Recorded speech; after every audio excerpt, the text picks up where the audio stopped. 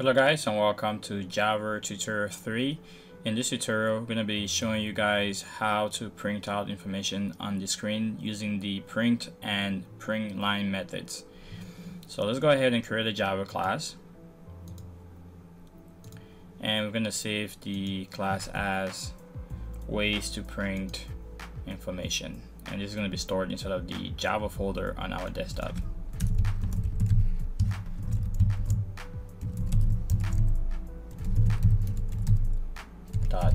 Make sure you have the Java extension added and then save the file.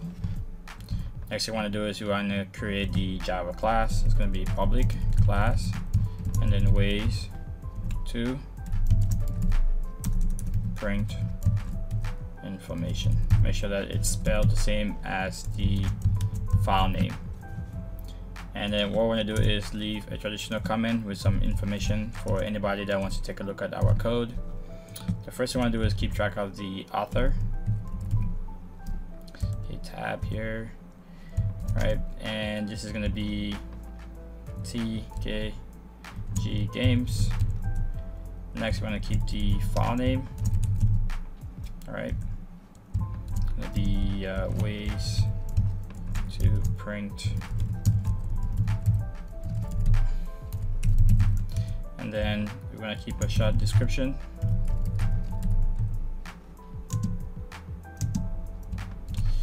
And this would be to use methods print takes an argument. And print line that takes either takes an argument or optional. So it takes optional arguments or no arguments okay and this would be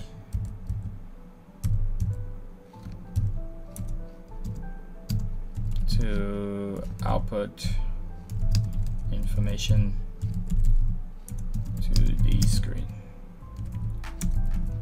Alright, so now that we have this, the first thing we want to do is before we talk about the main method, we need to talk about um, statement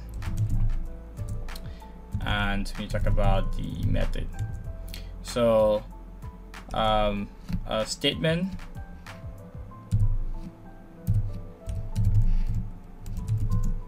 is a complete logic ending in semicolon. All right, and then the method uses one or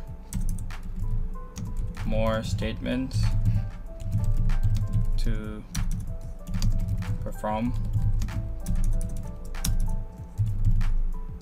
a task. Alright, so now we can go ahead and create the main method. And this takes in a parameter of type string array. Alright, so remember I told you guys that a string right is just a combination of characters. And it could be used to represent things like people's names their address their age and so forth.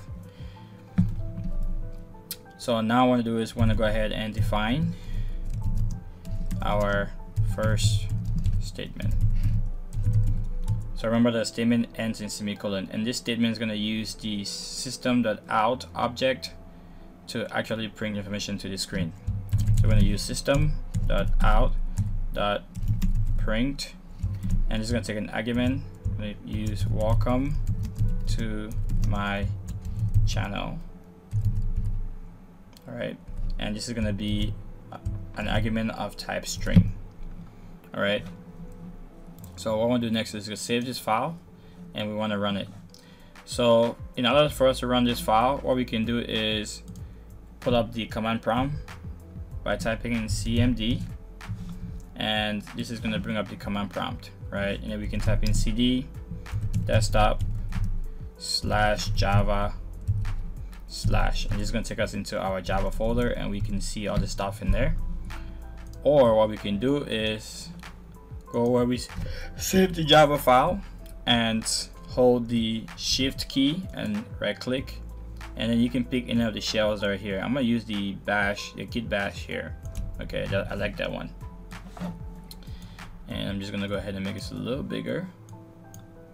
Okay so this one is good because you can type in things like dir for Windows or you can type in ls and for Mac and Linux and it will still work okay? So what I want to do is want to actually go ahead and compile the ways to bring information. So we're to type in java c type in w and hit the tab key and hit enter. Now is going to go ahead and compile the java file to, to produce the bytecode file which is the dot class file. So we hit ls one more time or we hit dir you can see that the ways to print information that class is created and this has the bytecode information for the JVM to interpret and run the program. Next we want to type in Java to actually run the bytecode and then type in W and hit the tab key and hit enter.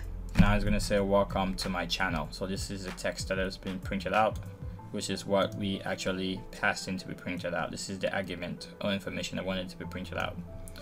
So now what I want to do is want to go ahead and define another statement. So remember that a method can have one or more statements, right? So main here is a method that has one statement right now, so we can create another statement. So we can use the system dot out dot print again and put hope you enjoy my content. All right. So this is going to be another statement. But now what we can truly see is how the print method actually works. Okay. So let's go ahead and save this again and go back here. So if you hit the up arrow key on your keyboard, it will go ahead and pull up the previous information that you type in in the terminal. Finally, reach where you say have the Java C and to compile the program and hit that and hit the up arrow keys again to run the application with the Java command and hit that. So now you can see it says welcome to my channel. Hope you enjoy my content. But this information is on the same line alright? So print works by just printing out the bytes or the information as it's going. It doesn't add a cursor. It doesn't push the cursor or the line feed to the next line alright? So what do I mean by line feed? So typically when you're typing a program, if you're in Microsoft Office or you're in a text editor, right, and you hit the enter button, that, that pushes the cursor to the next line, right? So what print does is it doesn't have the ability to add a cursor to the next line by itself. So you have to actually specify it. And one way that we can specify print to actually add a cursor to the next line is by produce is by adding what we call an escape sequence or an escape character. An escape characters typically start with backslash and some character. It could be T for tab or N for new line. Okay, so what the slash N stands here for, it's new line. So this is gonna go ahead and manually push the cursor for us. So let's save this, go back here, and just type in uh, Java C, and then we can hit the W key and hit the tab one more time and add .java. The reason why it's confused now is because we actually had something in there, two files in there with two different extensions, so it doesn't know which one to run. And we're gonna go ahead and run that. And type in Java one more time and W, hit tab and run this. So now you can see that welcome to my channel and hope you enjoy my content actually are on two separate lines than it was before because we added the escape sequence. So instead of adding the escape sequence here, let's take it off and do something else. So instead of us adding the escape sequence to do the job, what we can do is we can use the system.out.println method. And what this empty println method does is it has the ability to add a cursor to the next line on its own. So let's go ahead and do that. So what we're gonna do is we're gonna do system.out.println and we're not to pass in any information to print out okay we're to save this again and go here. And hit the up arrow key to, to compile the program. All right so it's going to be java c in way to print java compile that.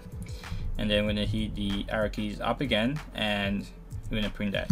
So you can see that by adding just the system.out.println here it acts the same as us adding the escape sequence to manually do the job okay?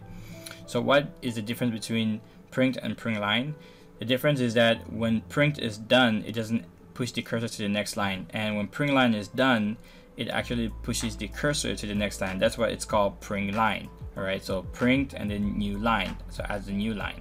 So line feed okay?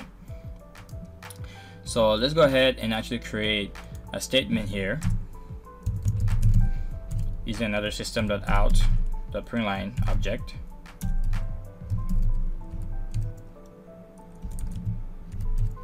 all right and I'll put my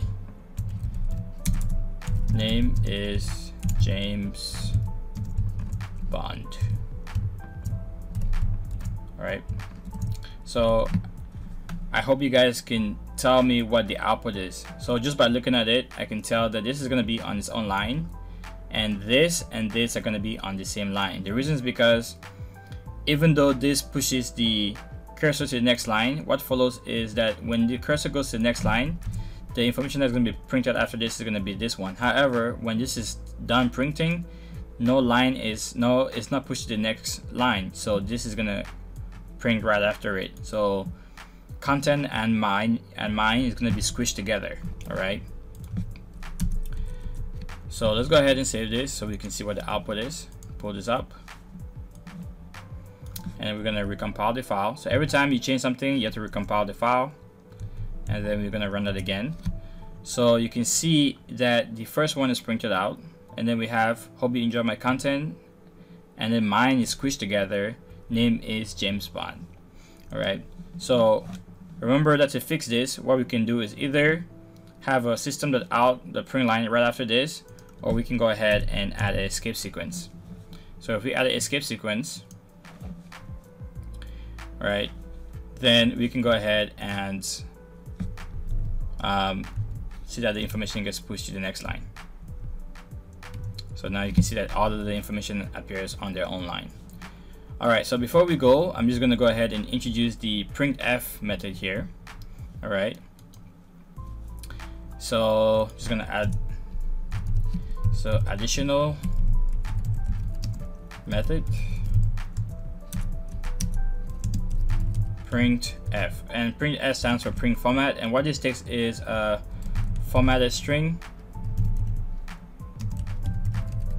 And then the argument or arguments okay? Okay so let's go ahead and show let me show an example. So this is what I typically use throughout my programs. And this is what we're going to be sticking with almost all throughout these tutorials unless I don't have to use it so what we need to do is pass in the formatted information, all right? So what we're taking, we're taking a string. So it's gonna be percent %s, and this is called a format specifier. So this is gonna be called, uh, just like an escape character, this is gonna be a format specifier. So is gonna take in a string, and then what I want to do is want to go ahead and print out a new line. So the new line in Java, instead of using the we're using the printf method, instead of using slash n here, it's percent %n, okay? So now we're going to go ahead and close that. Now I want to go, we need to pass in the information here. So for the percent %n, it's just an escape sequence, so we don't have to pass in anything. This is going to go ahead and just add the the new line feed for you. But for the s, we need to pass information. So what we need to do here is pass in end of the tutorial. All right, and then we can go ahead and close that. So what we've done here is we have passed in this right here, which is the formatted string. This is the format that we wanted to follow, right? And then we have a new line character here. So here, what this is gonna do is if I went ahead and just use another system dot out dot print and I put some dash dashes so we can pass in any type of information that we want here and close that you will see that this part right here, since we're putting the percent %n, is going to go ahead and push the cursor to the next line anyway, and then we're going to print out this information. So it looks like, even though we're using print here, it's going to look like we have actually added a percent %n um, to print out this, which we did actually. So let's go ahead and compile this.